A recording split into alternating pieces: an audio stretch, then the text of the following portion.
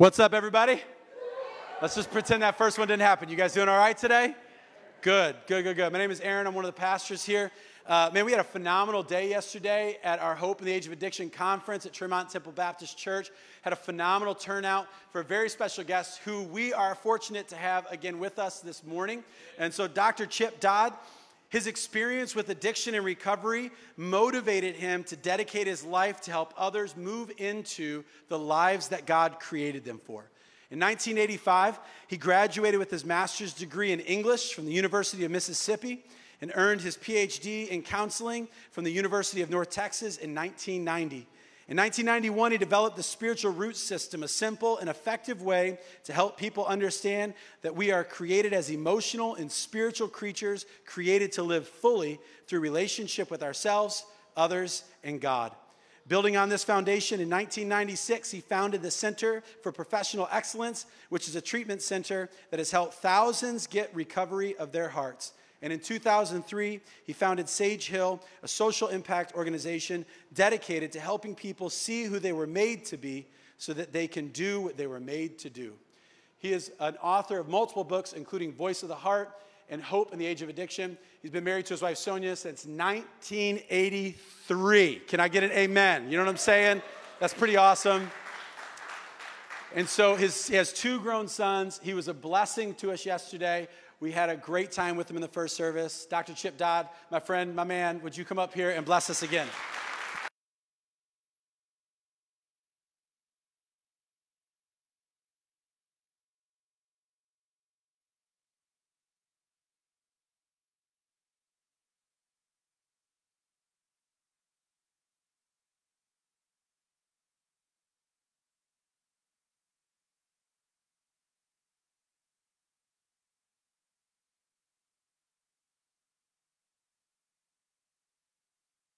Very good. Thanks, Matt. Matt, Matt, you've had to do a lot of that over a period of 24 hours. I asked Matt today, to, yesterday, I said, I want you to show this clip, but I'm going to do a few minute kind of like intro, you know, kind of like setting everything up as a preface. and, and uh, an hour, 10 minutes later, he was sitting down up there going like, I guess he forgot it.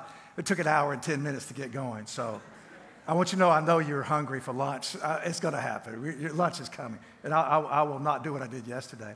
But thank you, Matt. Thank you, Aaron, and everybody who participates with them. It was, it's been amazing, your kindness and hospitality. And someone said, I know you people in Tennessee, that's where I'm from, uh, you're known for hospitality, but we're, we're tougher, but we do it too. You know, so, so y'all been so kind. And I love the accent. Y'all have an accent. And... Uh, God told me, exactly, God told me yesterday, y'all have the original accent. Y'all, you're the original, you know. And uh, I was so impressed how so many people understood me yesterday. I came in speaking this foreign language, you know, Southern. And, uh, and all these people from the South came and said, Well, I, I, get you, I get you. I'm like, Good. It feels like being at home. Uh, Aaron gave me permission to do a little switcheroo, and I'm going to um, because it's just important. And so, uh, what I'm going to do, we're going to see a, a, a short clip from a, the movie Braveheart. But uh, for those of you who have pens, I really want you to write some stuff down today. More than story, I want you to gather up some stuff that I want you to look at later. Because I want you to ponder it, I want you to linger on it later. Um, but, but the application today that I want you to take out of here is that you continue to allow yourselves to grow in this equation to allow yourselves to grow in this equation I'm going to give you. And the equation is uh, H period, O period, W period. It's an acronym, you know, set up like uh, it means honest, open, and willing. Honest is being able to tell the truth about yourself. It doesn't mean you're you being really good at telling other people they don't, they're not doing right.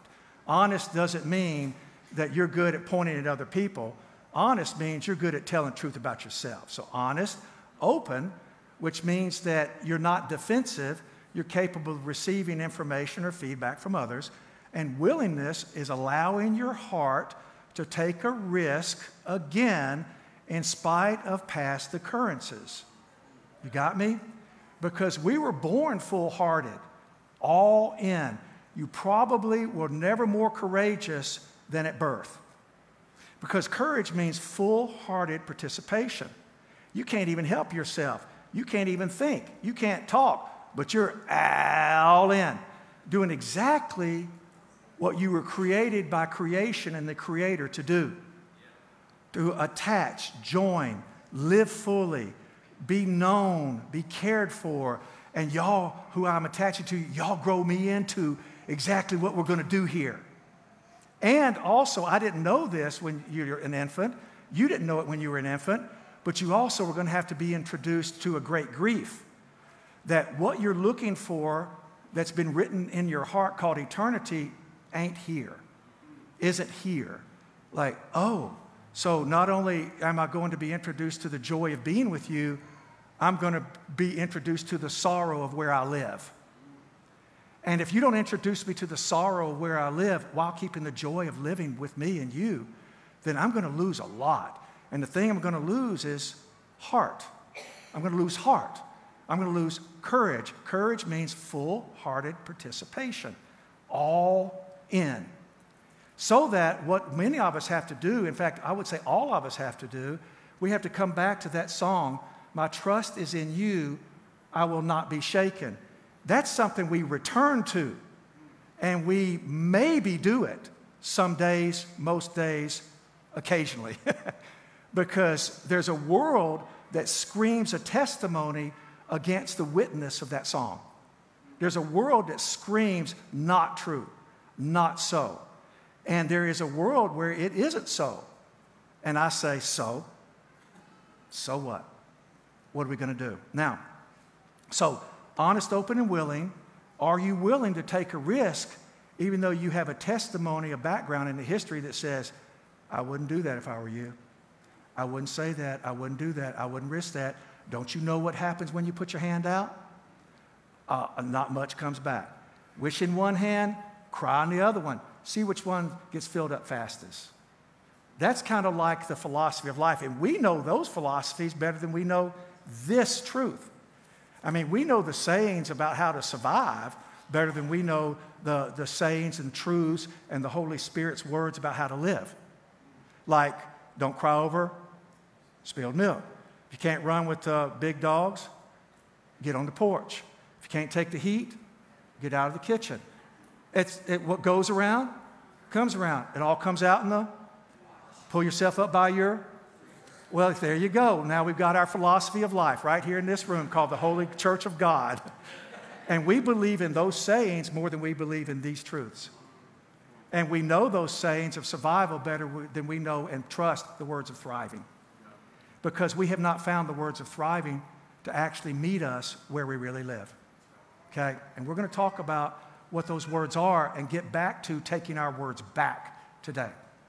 Now, so, honest, open, and willing, willing is taking a chance again. And every single person who is in recovery, recovery from what ails you, now, guys, that's a big tent.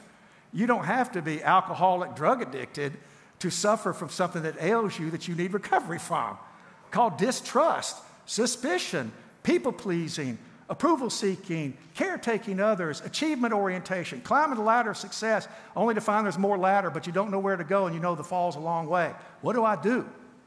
Okay, so we know that a lot better than we know the truth of this. So, in recovery, uh, recovery from what ails you, you're also after recovery of who you're made to be, who you were born to be, who God created you to be, which is a return to courage. It's also a return to hope. It's a return to faith, even, because in some ways, no more than ever before, and I know you don't have a, something to compare it against when you're born, but faith is a, a, a, certain of what you hope for, sure of what you hope for, and certain of what you do not see. When you come out of the womb, man, you are all sure about what you hope for, and you're certain of who you haven't seen yet. There you are. Let's do this. Attachment. I mean, we're made for attachment, we're made for each other. And God created us made for relationship and to find fulfillment in that connection. I mean, there's no getting away from it because everybody's attached to something. Either you're attached to those sayings that are a fool's paradise, you know, all comes out in the wash, man, and you live by that, or you're attached to the truths that feed us and grow us into who we're made to be again. Everybody's attached to something. You're either attached to your faith is in that which keeps you from having to experience honesty, open, and willingness, or you're attached to the honest, open, and willingness on some level. So that's part of the equation. The second part of the equation, plus HOW plus GOD. GOD is good, orderly direction. Okay? You seek people who have what you want and you ask them how they got there. Okay? Now, what that means is more than likely they're going to tell you, look, all I know is this is where I was, this is what's happened, and this is where I am now. And I'm going to point you towards, I'm going to tell you what they told me, and I found it to be true. In other words, nobody has the claim on it so that we have to climb up to a mountain to go get the Maharishi or so and so or whatever, and he can give us the words of wisdom, showing a mirror in our face or something. You know, that, that, that the truth is being lived out on the sidewalks of everybody around us who has it. And somebody gave it to them, and they can't help but want to give it to somebody else because they once were lost and now they're saved. They were blind and now they see. Those are the people we need to seek out for good, orderly direction because they had lost something and found it. They were blinded by something and see it. They were dead and they're alive again. So, do you know the blind man in the book of John who had no education is saying the same thing that St. Paul tells us in 13 books of the New Testament? Both were blind and now they see. It just so happened that Paul had so much of an education, he had more to say about it. But the blind man said the same thing Look, I was blind and now I see. This is where I was, this is what happened, and this is where I am now. Do y'all want to meet who did it? That's, that's all he said. Then they started slapping around, spitting on him, told him to get out. I mean, they roughed him up by just honest, open, by being honest, open, and willing. And by seeking good, orderly direction, he got beaten up. But Paul's doing the same thing. He's saying, except he's got a lot more background to, to do more with it. But he's saying, this is where I was, this is what happened, this is where I am now. I'm doing the same thing. It's amazing. Okay.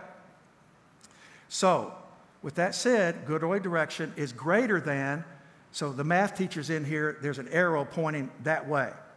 So HOW plus GOD is greater than EGO, easing God out. EGO is easing God out. And that's the faces we wear to hide our hearts. And that's even the faces we wear behind our faces to hide ourselves from our hearts. I mean, I want you to know that we can be extremely defensive creatures once we have been put into situations when we were helpless and no help came. And when we were slipping away in hope and we were barely clinging, and what we decided to hope in was ourselves. And hoping in ourselves turns into hoping into something that will keep me from vulnerability and let me depend upon something else that I have hope in, like control, power, people pleasing, manipulation, deceit, um, being truthful, being good, being caring, being achieving, being educated, all these other things instead of having to depend upon how I was created. And I was created to seek life and have it to the full. And Jesus said, I came to give life and that to the full.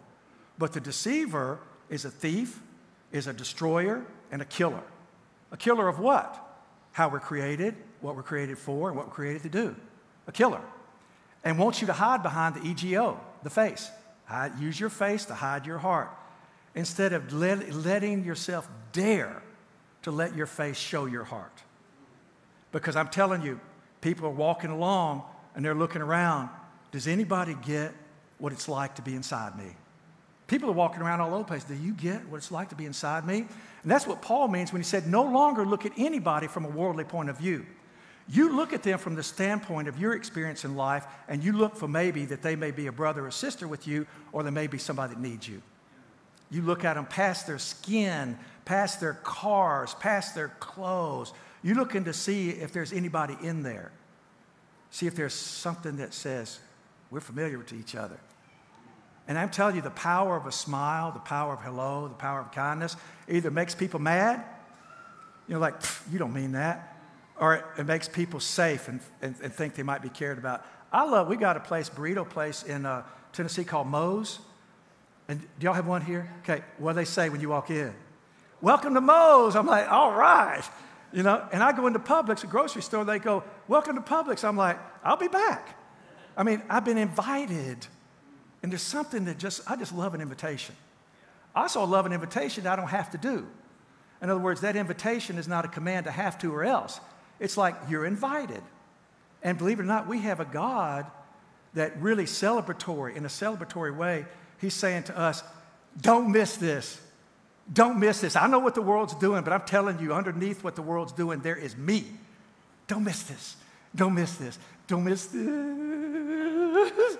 I mean, I don't want to say that God's a little bitty like a puppy, but I'm telling you, I believe there's that kind of excitement in God about us. Come on, come on, come on. I know what the world's done, but you come on.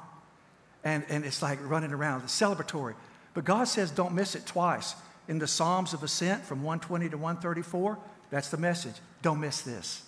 Don't miss this. And then, don't miss this. Don't miss this. You miss this, you're missing everything. Everything you were born to have, everything you were born to be. And I know what the world is like. That's why I come I came. That's how come I came to do something about it, so that the invitation can get to you directly, and you don't have to miss it anymore. You can have it back, the way you're made to be, what you're made to live like. Okay, so it's greater than ego.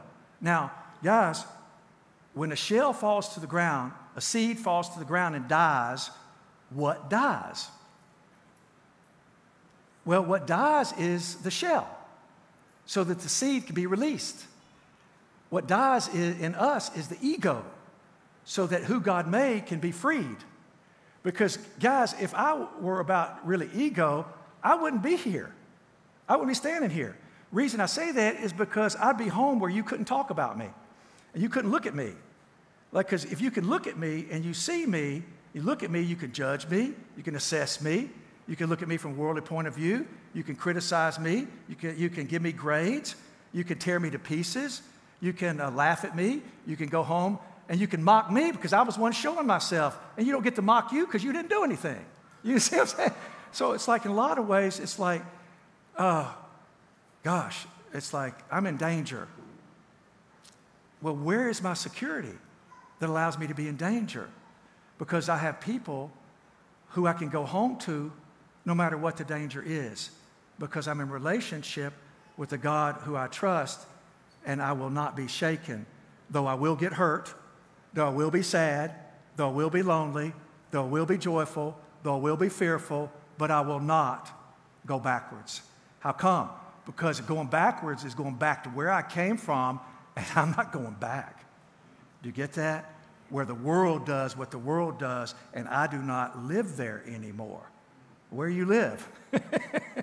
I want to go there. I hope it's not Tennessee, right? I want to stay in Boston, but it's right here. Now, so there's, there's the application. I took all that time to give you the end of the story. This is what you've got to do. This is what you're going to apply. And if you do, your life will get better. It's a promise because you will be introduced to how you were born again. Wait, born again? Yeah you'll be introduced to how you were born again, and so you can be born anew every day, okay? Because you're created for connection, and there's nothing to stop that. However, we have experienced a lot of things that stop that. If you were not truly welcomed into the world from the inside out by the people you were made to be with, then all of a sudden you're going like, am I mistaken? And finally you come up with the idea that I must be mistaken. And that's called toxic shame, but I'm, I'm mistaken. I, how I'm created with this courage and this faith and this hope and this willingness to work. Now, work is a beautiful thing. A child comes into life working just absolute full blast, naked, uh, pedal to the metal work because they give their hands, their head, and the heart to everything they're doing. Little babies will start here and crawl out the door, army crawl, and go down the stairs looking for stuff. Right? You, you know what I'm saying? It's like, we don't do that. Like, that, that's too much energy. They go over and put their fingers in light sockets to see what it'll do. They're wanderers. You know, they're looking, they're, they're, they're, they're, they're passion filled. They're willing to be in pain for something that matters more than pain because that's how they're born. Like, I'm in. And then all of a sudden, they don't get rewarded, reinforced. They don't get honored. Honored for how they're made. Instead, the word changes into you honor my misinterpretation of life over how God created you to be honored, to be crowned with glory and honor as my creation. If you're not raised in a world where the people around you don't, if they don't know that you are fearfully, wonderfully made, knitted together in your mother's womb, exactly with the details of how you're created to be, if they don't honor that, then you become suspicious of, of uh, maybe you're made wrong. And that's where ego starts to be built and the true self starts to recede. And there's a great, great tragedy in that. And we think that's all there is to life when actually that's us buying into the tragedy over how we're created. Now, God asked a question in the beginning of Genesis, the very beginning, Genesis 3 9. Everything had crashed. By the way, God didn't crash it, we crashed it. Let Aaron show you, continue to show you the original, the original story. The original story is it's that he didn't do it, we did it. We ran away when we needed to speak up. We were silent when we needed to cry out. We hid out instead of crying out. The birth of the ego. Hide my heart. And, and instead of learning from it and uh, uh, growing from it, we ran from it. Like Rafiki talks about Simba and Lion King. You know, he says you can run from it or learn from it. You can run from the past or learn from the past, right? And I'm here to show us how to learn from the past. All right, now, so ego, by dispensing with it, is a scary deal because you've been hurt by in your life by not having it. So I want to offer a caveat. There are people you do not share your heart with. They do not care. in fact, if you do share your heart with them, they're going to steal everything you've got. And then they're going to destroy everything you brought, and then they're going to kill you, okay? Get in your car and leave. And that's, that's right out of the New Testament. If you go into a town and you're offering up the true hope that you've been born anew to experience, and they don't want it, man, you walk out, take your sandals off, and, and, and slap them, knock the dust off your feet, and get on with living. And then grieve that they wouldn't take it. But you can't, you can't want something for someone more than they want it. And if you want something for someone more than they want it, you will get sick and you will get stuck in their death spiral. You got to leave the dead to bury the dead.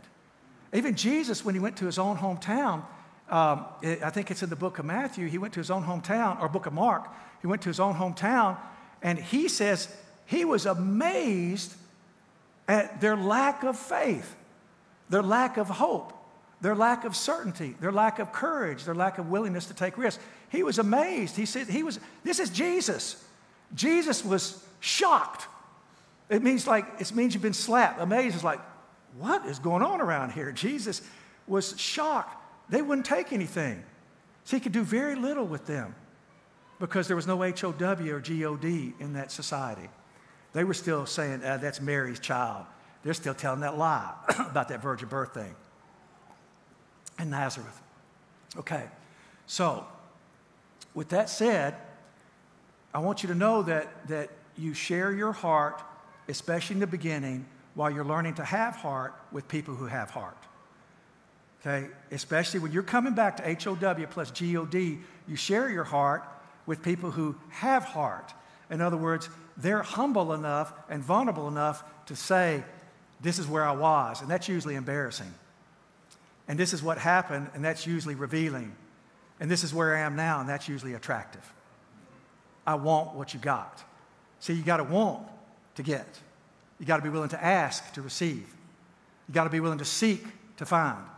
You've got to be willing to knock for the door to be opened unto you. A great documentary on knocking is an Amazon original called Mully, M U L L Y.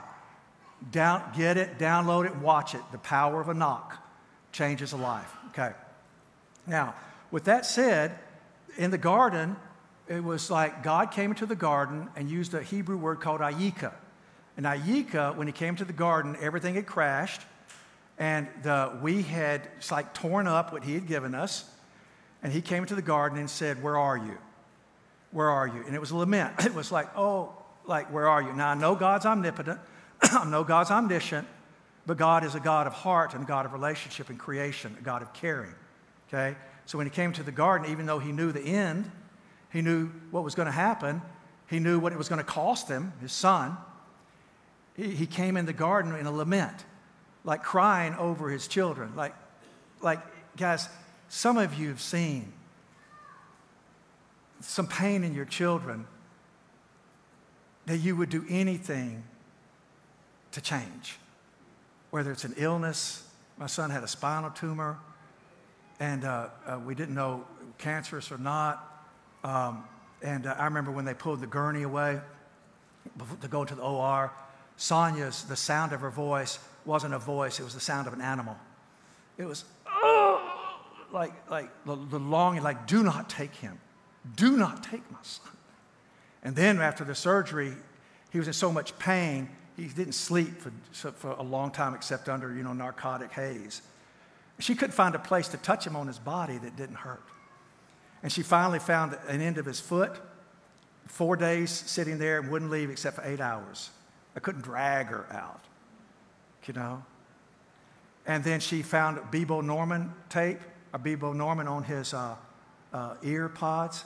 She put Bebo, Bebo Norman, Oh Great Light of the World, Trees, it's a, a, a Christian singer, put those in his ears, held them to his foot, and he slept, unaided by uh, med- medication. So it's like this, this cry out, this call out is very, very powerful. So God comes into the garden with that, times 27 million exponential, times 27 million exponential that kind of ache. Ayeka is no simple phrase like, hey, where are you, man? It's, where are you? Because until you tell me what's going on inside of you, honest, open, and willing, and seek some good orderly direction, your ego is going to control everything from here on out. You're going to be in the league with everything that kills and destroys and eats things alive and steals. Like, oh my God. Now, I got a plan for us. And Adam said, I was afraid. He became a child again. I was afraid honest, open, and willing. I'm telling the truth. And so I hid because I was vulnerable, exposed. Uh, I didn't know what to do. I was, I could see myself, and I had sinned. I'd done wrong. So I hid. and there's our problem. You either hide out or cry out. Hide out or cry out. H-O-W plus G-O-D is our cry out with the right people. So we can be released from the thing that keeps us isolated from each other and allows us to join with each other with boundaries, with healthy boundaries. So sometimes you got to leave. Like, you can't treat me that way. That's not okay. I got to go. And you go. this doesn't mean you seek out harm, because love doesn't seek out harm. Love's willing to hurt, but it doesn't seek out harm. Jesus has already done the harm part. Our job is to do the hurt part. Okay, now, so with all that said, here's, the, here's my uh, uh, uh, uh thing. Okay, now, I want you to start writing down some words. You got the equation. And the, the, the first word is Hesed, H E S S E D. And Aaron, I may get off on this. I may, you may have to correct, ne- you know, next Sunday. Okay, here are Chip Dodd's corrections, because I'm about to enter his, you know, it's his territory. I mean, he's trained, beautiful man, and, and it was amazing how I got to be with Matt and Aaron, and, and every conversation we had, everything we did my, my sense of comfort and safety and care from them just rose. And as we were walking back last night, we, went, we had fish and chips, and Matt had a healthier thing called broiled scallops. And uh, he's our health nut, right? For that night. but, uh, you know, I said, man, I just, it's just been good with y'all. We just, you know, he said, it, well, Chip, being with you is just like, like we've already met you. So we were like, it was all there. And, and literally, literally, when we saw each other the first time, Aaron said, You're tall. I said, You are too. Because he thought I'd be kind of like this tall or something, you know? So, all right, so Hesed. Hesed is a word that we can't define in English. Just like where are you doesn't quite say what the truth is of a yika, A Y E K A, where are you? By the way, God asked that question from now until the end of time, end of your time. He's every, every, all the time, he wants to know, where are you? Where are you? Where are you? Hey, where are you? And our job is to be able to tell him where we are. But is that language, I'm on Fifth Street by Hampton? He goes, I already know that. I'm omniscient. And I'm going to go do this. He's going like, well, it's not going to work out well because I'm omnipotent. But he's not asking that. He's got that. He doesn't necessarily have us. See, that's the one thing we can take from Him, is us. And what is it that we take from Him? It's how we were born. We get rid of it, except we can't. You really can't get rid of hope. You can't get rid of your needs. You really can't get rid of your feelings. And you can't get rid of a desire for more. You can't get rid of longing for life to be better than it is, like longing for justice and safety and home. I want to go home. E.T. go home. E.T. phone home. Y'all remember that? Somebody old enough? E.T. phone home. And millions and millions of people went to see that movie and they made billions of dollars over a sentence. I want to go home. And then some of you may never have heard of him, but Paul Bear Bryant was the, the, the, coach for Alabama. Some of you probably hated him for years when he came up here and beat everybody, you know, University of Alabama football. But uh, he did a commercial. His mother had passed away when he was young. And he does this commercial for Ma Bell. He's gruff and tough. And he says, Y'all, it's Mother's Day. Y'all need to call home. I wish I could call home. And, and all these football players from the past get on the phone and call their mamas because Paul Bear Bryant told them to do it. So we want to go home. And you know, how much we make it great here, still something missing. We came from a place we, went, we really are made to go back to. So this is temporary. Paul calls it, a, we wear a kind of a transient tent, uh, and we live in a tent so we can go to a place that's never going to change. I don't mean never going to change like every day's the same. Where's the fun? I'm talking about never going to change in terms we're always cared for and safe. Everything we've been looking for, we have, so we can build anew, do all kinds of cool stuff. All right, so Hesed means loving kindness, unending care, un, in, unable to not be, have compassion. I mean, I can go on and on. Goodness. Uh, there's no way I can get away from you because I love you so much. Um, even if I get angry with you, I can't look at you and be disappointed. You're mine. I made you. You think I'd leave you? Are you crazy? No, I want you back. Hesed, loving kindness, unable to be any other way. The character of God is He could, but He won't be any other way. God is love. Hesed. And those words I use, they're, they're junk. And the people who brought us into the world, it was their job to introduce us to their introduction of Hesed. And if they didn't have HOW plus GOD, they couldn't. Or, and they, if they didn't go learn it, they wouldn't. And if they wouldn't, then their, their, their ego was greater than, than how they were created. They gave up creation to have their way. And their way promise you, doesn't turn out well for them, but the repercussions. Because you didn't come out of the womb looking for God, you came out of the womb looking for them.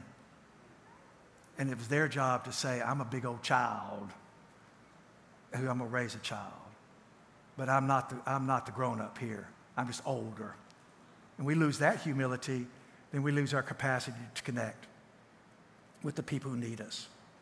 Okay, so with that said, God, that's God's love, so automatically we're suspicious. Now let's look at what the world has taught us versus what God is teaching us. The word obey, just like those sayings that we have, the word obey doesn't mean what we've been told. And a lot of biblical teachers teach us the world's definition of obey instead of the truth definition of obey. The word obey in the Old Testament is Shema, S H A M A H. Aaron can correct that later. You afterwards go say, Aaron, is that right? And go, mostly. so Shema means to obey. Now, you and I were taught that obey means to do what you're told. True? That's not what it means. it doesn't mean do what you're told. It means to listen. It means literally, it means listen. The Old Testament, listen, listen, listen, listen. Hey, listen, I got something I want to share with you. I got something I want to tell you. I got something I want to give you. I got something you need to know. I got something you need to watch out for. And so, and when you're born, the way we're created, do you know what you're listening for? You're listening for anything that's going to give you a life and life to the full. You're listening for the fulfillment of how you're made. And guess what fulfillment of how you're made? We're made to be connected and content in relationship. And out of that, we create and make and shape and take risks because we always have a place to go home to after we've taken that risk. So the word obey doesn't mean do, it means listen so that you can have. Have what? Behave. Well, behave. Behave, we've been told, means do like you ought to do. But that's not what the word means. Behave doesn't mean do what you ought to do. Behave means be have. Have your being. Be who you're made to be. That's what behave means. Well, how do I end up being who I'm made to be? By listening for words that show and teach me how to find the fulfillment I'm looking for from the one who loves. Okay? Now, that's where we get a problem. Now we've got a problem. I'm made to have full life, and I get that by learning to listen and listening to what I need to learn. And that's where we get the word, I need something greater than myself teaching me. And that's where we get the word authority. But what does the world tell us authority is? The world tells us that authority, the world tells us, and many biblical teachers will tell us from the beginning that authority means power over you. It's a thumb on your neck, power over you. And do you know what? Have you ever been able to give your heart's trust, willingness, vulnerability, heartache, and pain to somebody that has their thumb on your neck? No. God knows that. We're not capable of giving our hearts to a power that doesn't seek our good. So I want you to know there are two kinds of authority in this life there's the oppressive authority that seeks power over you, and then there's a thing called healthy authority. What is healthy authority? Healthy authority is power that seeks your good, desires your good, your fulfillment, desires your fulfillment. And that's where we get the word author someone who writes words. Now, stay with me, guys. Stay with me. I, will wrap it up. We'll have lunch. But that's where, you know, like, lunch, lunch. Okay, as long as we're having lunch, I'm good. But no, stay with me because this is huge. This is amazing. We take our words back, we get our lives back. If we let the world have our words, we continue to lose our lives following the world thinking it's God. It's not God. God's an author who's given us thousands of words to say, Seek life so that it may go well with you. I came to bring you life and life to the full. Life and prosperity, not death and curses. Blessed is the person who trusts in the Lord, who has confidence in God. Isolated is the person who depends upon their own flesh, who trusts in the power of man, whose heart has gone away from God. When the person who trusts in the Lord, who by testing God, test me, and you find out if I'm who I say I am. And you'll start seeing coincidences that you can't call incident, call coincidence anymore because you have to call them God incidences. You start to see him and smell him and wonder when he's about to do something next. And it might be good. And then you start to trust enough that when good doesn't come, you know it is coming.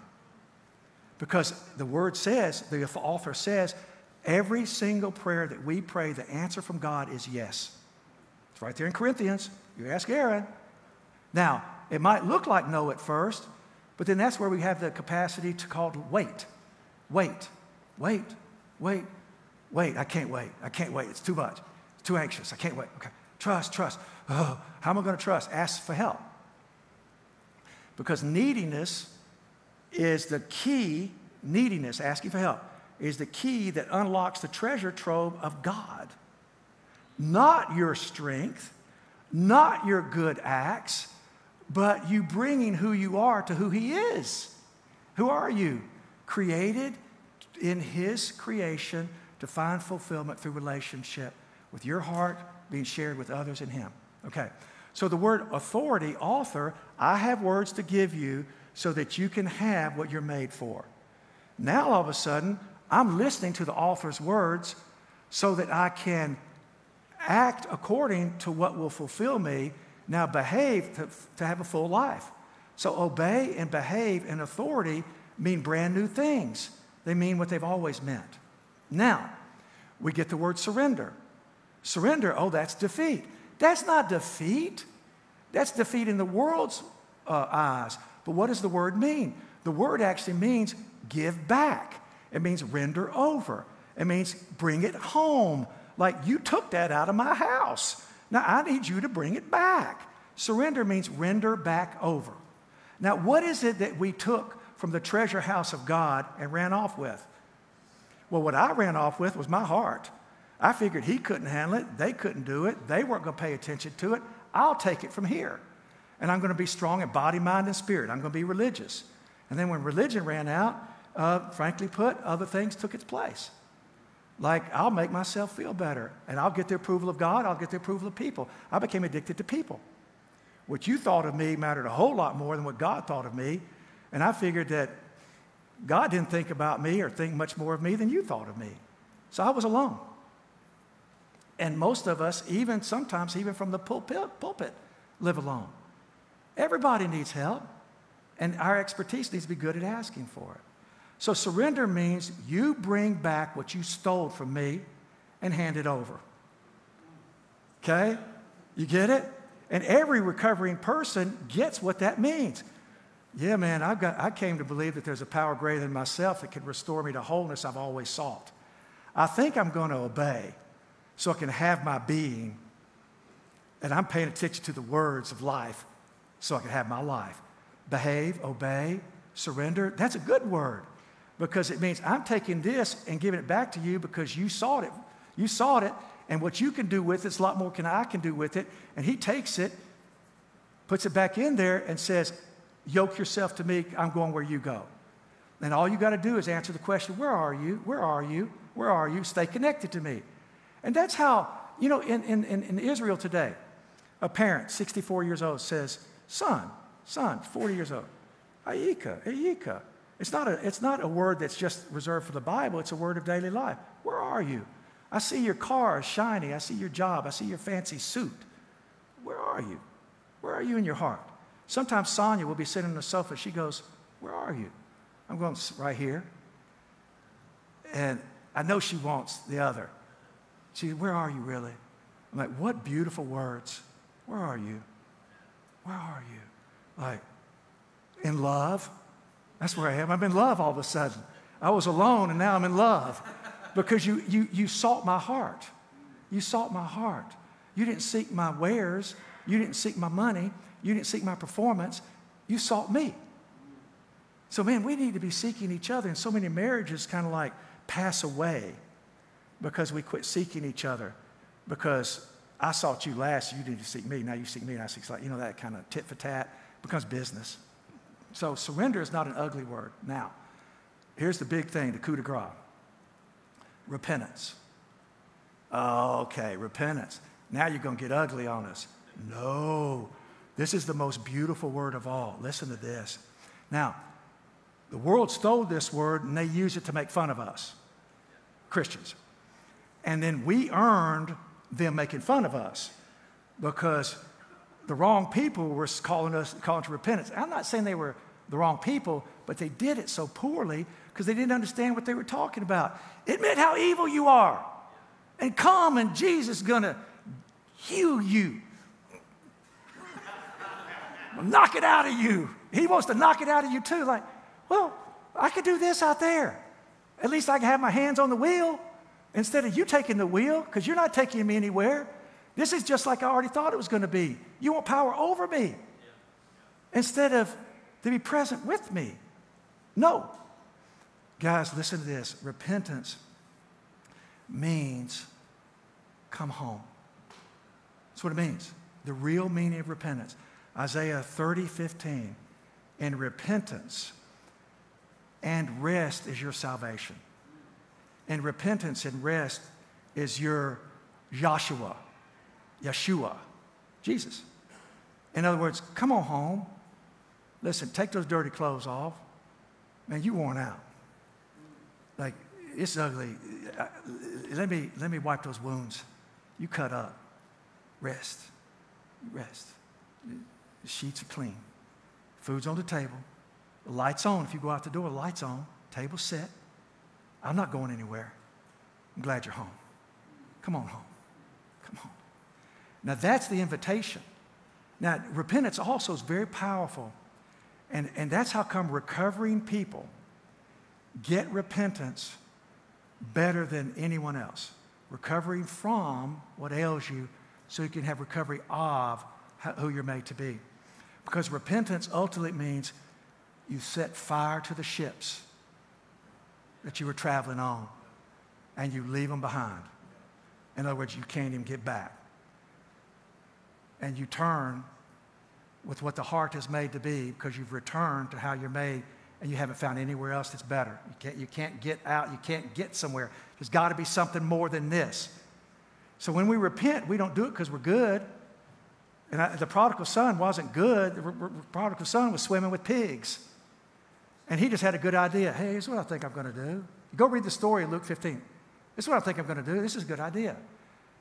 I'm going to tell my father this. And then he goes home, and it says, while he was far away, the father saw him. And the father jumped up. He's the prodigal. The father's the prodigal. It means indulgent, luxurious. And he ran to the, to the, the, the pig feeder, ran to him, and he adorned him with a robe of royalty, a ring of a king, and then killed a lamb who was a foretelling of the ultimate sacrifice. The father gave up everything to have the son who brought his heart home and didn't even know what he was doing. The father basically said, You know, I don't need your excuses. I don't need your, your just, I don't need your explanations. I need you. I want you. So I want you to know that repentance is beautiful. And, and, and, and in recovery, recovery, the recovery process, step 10 is about doing daily repentance. It's like keeping up with the errors of our lives for our conscience's sake, so I can look at you and say, I'm sorry I did that. Or I can look at you and say, Man, that was really good when I did that, right? And you go, Yeah, that was good. Thank you again. Like, that's called coming home. Come home. Repentance, come home. Burn those ships. Anything that takes you away from the life you're made to have in relationship with Him and others, we need to repent of. Come on home. Come on home. And man, home's tough because it's not the ultimate place. But it beats where you've been if where you've been has kept you from the life you're made to have. Do you dare hope for so much? Do you dare believe so much? Do you dare risk so much? Only if you're hungry and you're thirsty and they've run out of water. It's not in our good name, it's in how He created us that we come back to. We are created as creatures of the heart who wind up being able to think. We need to be able to think about how to express what's happening in our hearts because what's in our hearts is what He's interested in. He's not all that big on us figuring out, you know, physical science. He's big on what you're doing it for who's it going to bless, and how much joy you have in getting to do it. He's very interested in us. Hesed, Hesed, Hesed, Hesed. I love you. Hesed, I love you. You think I could stop loving you? You are so mistaken. You are so mistaken. When my son William came out uh, in the recovery room, he had heard Sonia's, Oh, Ayeka, where are you? Don't leave. Son, Ayeka, when he came into recovery, remember, he's still dazed. We were able to go back into the recovery room. And he said, we told him, I said, son, they got the tumor. It peeled right off your spinal uh, cord. Uh, like silly putty, they said. You're going to be okay. And it, it, tears were rolling down his face. He said, That's good. I was so scared. But before we got to him, and before we spoke those words to him, when he came out in recuperation, the nurses were leaning over him. And the first thing he said was, How's my mama? How's my mother? I mean, that's how we're created. That's how we're created to stay connected. He trusted the pain of his mother's love to the point that he ended up being concerned for his mother's pain when he had a scar running down his back and was barely able to talk.